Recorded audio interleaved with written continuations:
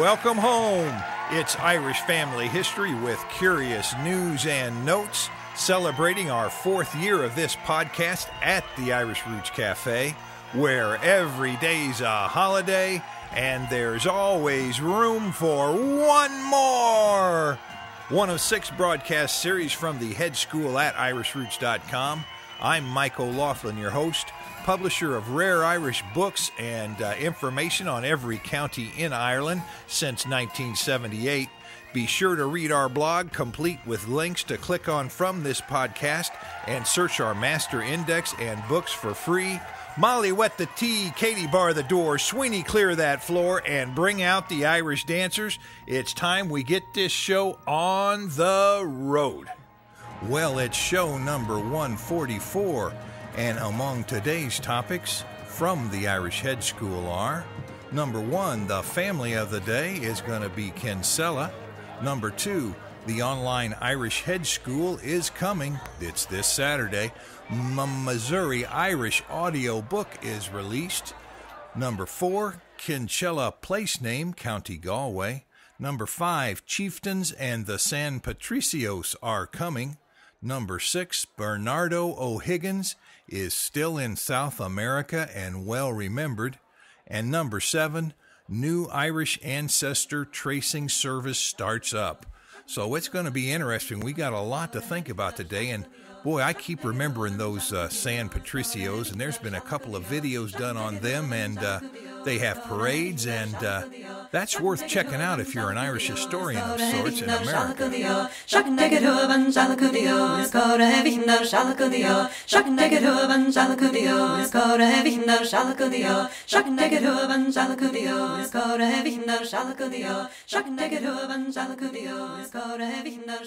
Well, let me see our notes for this week. Hey, first I got to remind you we have an en- enhanced podcast, which is like this regular podcast, except it has uh, photographs and links that are embedded in it when you play it if you have iTunes. So just wanted to remind you of that, and you can subscribe to that on iTunes or from our webpage at irishroots.com.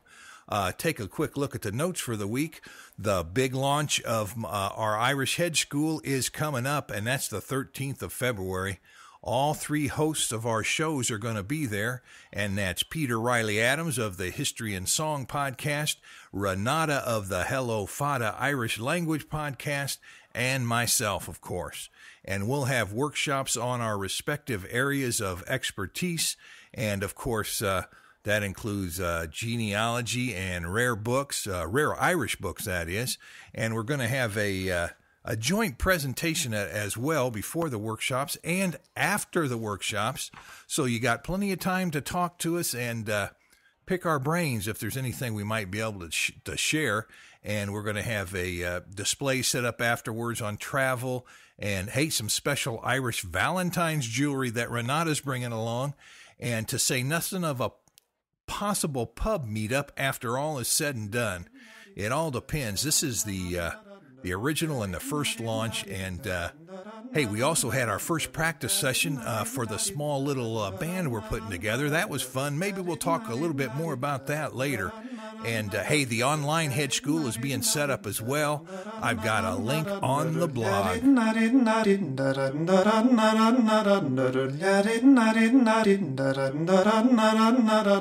Hey, now it's time for the one minute podcast. Let's take a listen to one of our eight other shows and see what's going on. And this one is from the Missouri Irish Book, and uh, that's because it's our first uh, audiobook release, so I thought I'd put it up here again. Now let's take a listen.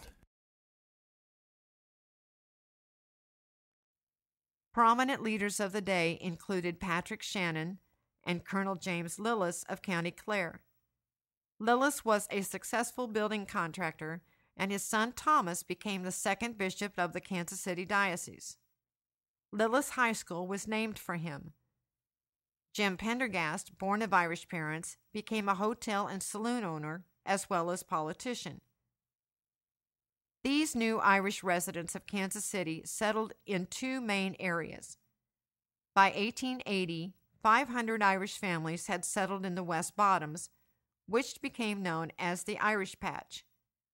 Many unmarried Irishmen worked here for a while and moved on.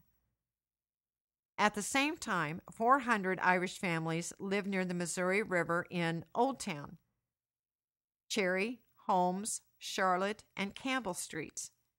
Both areas could be viewed as slums, which became commercial and industrial areas during this decade. Some of the wealthier Irish moved to Quality Hill, near 9th and Pennsylvania.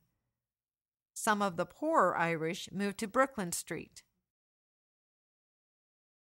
Well, now that's just a sample from the book, giving an overview of what I talk about later. And we talk about where the wealthy came from and where the poor came from. And of course, most of those Irish were poor. That's how we all started. And we came to clean the streets and build the roads and tear down the bluffs and uh, start the first new newspapers in Kansas City and St. Louis. And there's quite a history all across the state. And since this is our very first uh, audio book that we're releasing. We've got an audio downline, download online. So if you order that book, you'll be able to download it on in MP3s on the internet. So uh, that's sort of fun to figure out how that's all going to work, and it's available for you now. So that's why we picked that as our podcast of the week.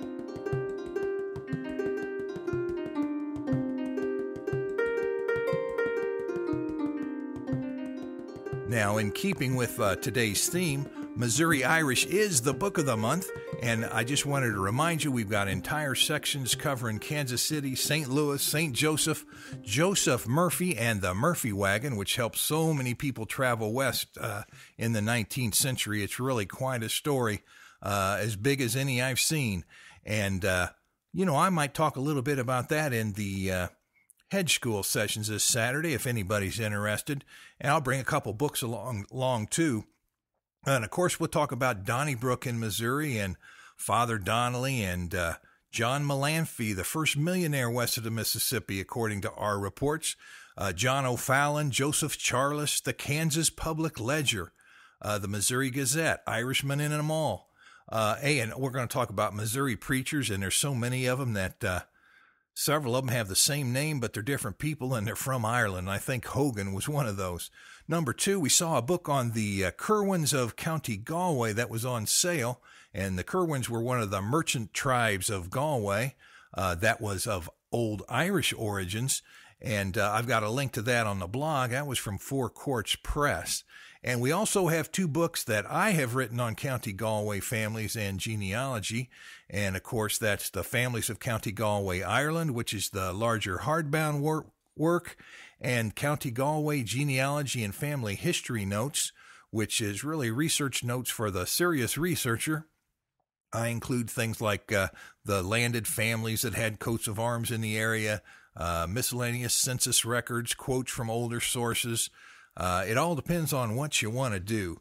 And uh, hey, you know, there's three things you have to remember. We've got a podcast, a blog reader, and a blog. So we've got a little bit different things on most of those. So remember, the podcast is the one I narrate and I'm talking to right now. The blog reader is a computer that reads our blog.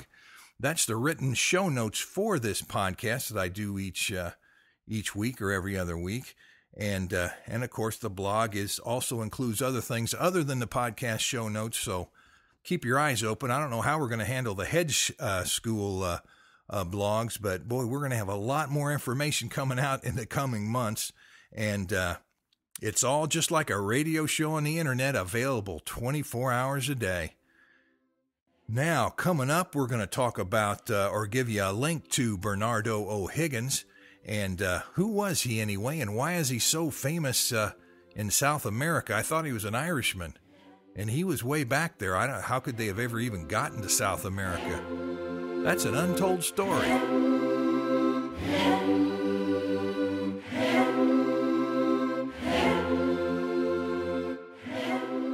Well, that sounds means it's time to raise our eyes skyward, give thanks, and ask for help.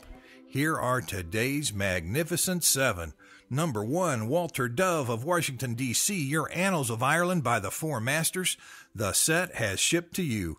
Number two, Denise O'Brien of Chicopee, Massachusetts. Your Families of County Clare book and Irish Genealogies book has shipped. Number three, Richard McMahon of Coatesville, Pennsylvania. Welcome as a new member. Your book of Irish families, great and small, has shipped. Number four, Raymond Smith of Highland, Utah. Your county down genealogy and family history book has shipped. Uh, number five, Leslie Brown of San Anselmo, California. Your Families of County Cork has shipped. A lot of Corkers out there. Number six, Daniel R. O'Neill of Pittsburgh, Pennsylvania. Your County Cork Genealogy and Family History Notes have shipped. See, there's two Cork books in a row. Number seven, Dorothy Kelleher of Ballston Spa, New York. Your County Cork Genealogy and Family History Notes have shipped. Boy, that's three in a row. Cork must be burning them up right now and that's where so many people left from Queenstown, or as it was otherwise named, Cobh, C O B H. Sometimes you had them, some people stuck a V in there and spelled it C O V E. It depended on history and who was making the maps or writing the letters. Uh, that keeps it all very, very interesting. Remember to check out our search online search list too. We're getting ready to update that with uh, newer searches, so remember it. And Thank you to each and every member. Without you, we'd have no podcast, we'd have no hedge school, we'd have no research. Thank you a million, and we hope to keep you coming in every week.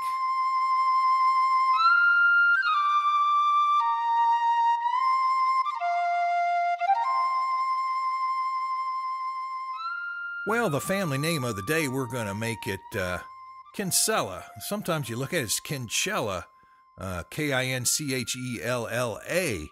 And uh, most people who know a lot of Irish families know some Kinsellas here or there, that's for sure.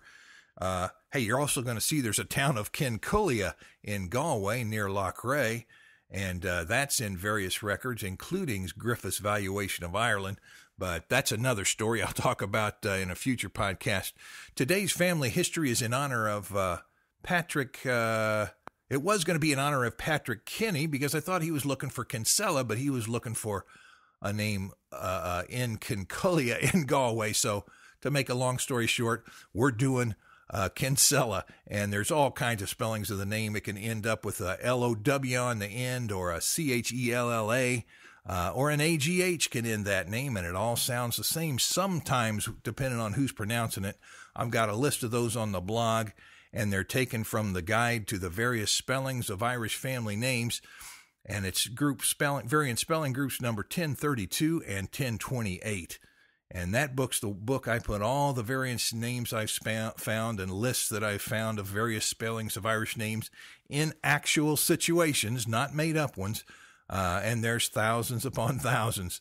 Now, if you take a quick look at the history of the name, you'll see that the Kinsella families descend from the famous Dermot MacMurrough, or perhaps he's the infamous Dermot MacMurrough, because he was the 12th century king of Leinster who helped the Anglo Norman invasions of Ireland occur by traveling over uh, uh, to the continent and bringing back some uh, nobles there to uh, conquer Ireland. And eventually that led to our whole downfall, known as the Norman invasion. And uh, of course, MacMurrough was the Kavanagh uh, family was also from the same line along with Kinsella, and that represents two Irish surnames that don't have the O or Mac in front of them, which makes them sort of dis- uh, uh, distinct in the olden times. And uh, you're going to find that the family's centered in the barony of Gorey in County Wexford in both olden days and modern times. Uh, references are found in many works referring to the name of this territory as the Kinsellas. And uh, there's more found in the original work. And uh, this is taken a partial extract from the Book of Irish Families, Great and Small. Uh, coming up later in this episode, the, the new San Patricio Battalion is in the making. And we're going to also take a look at Irish family coats of arms from the Irish Book of Arms and see if the uh, uh, Kinsellas are in there. And uh, hey, guess what? They are. A uh, brief search of that book uh, finds the uh, in the Irish Book of Arms found, finds them with an illustration in color with a lion passant sable in the lower part of the crest, and that's just for starters. So you you made the book, I'm telling you. Now we're moving on to sources.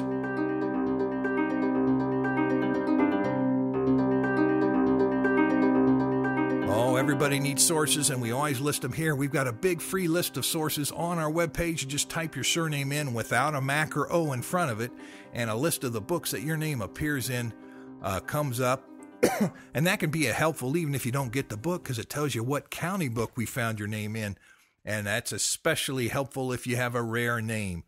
Now, we found Kinsella in the Birth Index of Ireland and also in the families of uh, County Dublin, Ireland and in the Irish Book of Arms. Now, Kinsella, where it's K I N S E L A G H, we found in the census of 1659, and Kinsella in Missouri Irish Book, and O Kinsella, the old style spelling, in the Annals of Ireland by the Four Masters, so that tells you something. And Kinsella is also in the Master Guide to Spellings of Irish Family Names. So there's plenty of uh, tips and leads there. And remember, if you go to our webpage and you do that uh, free search, remember to leave the Mac or O off the front of the name when you're typing in the root name. That'll get you uh, get you to all the O's and Macs anyway. We've got it set up all real special for you. And now it's time for the next segment. I bet you know what it is. Uh, what do you think it is? You might be able to tell by this new music.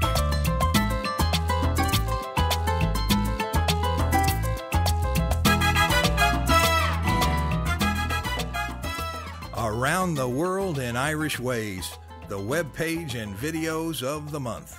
Well, number one, here's a house in Kincullia near Loughrea in County Galway, and it's only 265,000 euros. Boy, that seems like it's a it's a hefty, uh, it's a far draw from the old Irish cottages I see in those movies. I wonder what that's about. Number two, St. Patrick's Battalion is a video of the week, and it's from Ireland to America to Texas to Mexico, and then from Mexico they joined the Mexican army and fought the uh, American Army, can you believe it? And some descendants live yet today. They have a plaque in their honor in Mexico, and they also have parades and celebrations in uh, Mexico and in America. So, if you think you know about uh, Irish American heritage or Irish Mexican heritage, you better know about the San Patricios, that's for sure. Number three, The Life of St. Bridget, the Abbess of Kildare uh, uh video. Uh, that's another uh, YouTube video we have since uh, uh St. Bridget's Day is just right upon us here. And number four, the Vikings versus the Irish. Here's a battle on film. It's a reenactment, and it's a fairly small group of people considering the thousands who fought and died on the real days, but this would be a skirmish, I think. But that might be fun for you to watch, so we put it on there for you. And uh, of course, we've got our regular Irish uh, video shorts on Irish genealogy and history. And as soon as I get time, I'm going to make another 10 of them or so. It's just a matter of uh, getting it all done and uh, keep those memberships coming in because it gives me time to stop and record those. Let me know if you see, want to see one on a certain topic, and I'll be sure to get it.